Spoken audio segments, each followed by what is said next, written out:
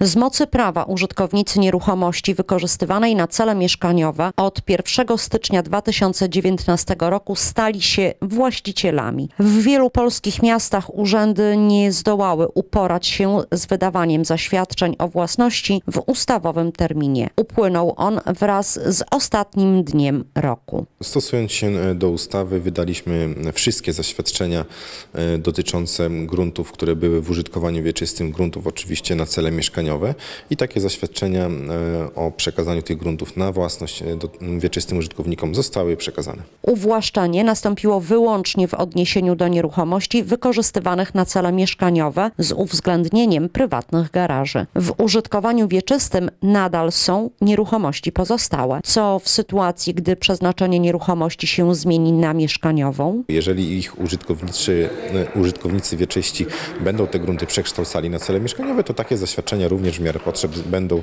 wydawane.